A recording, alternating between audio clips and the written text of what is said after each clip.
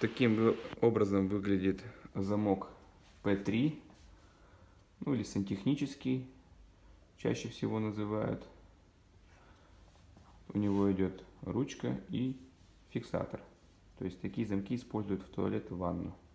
Данный замок с пластиковым язычком.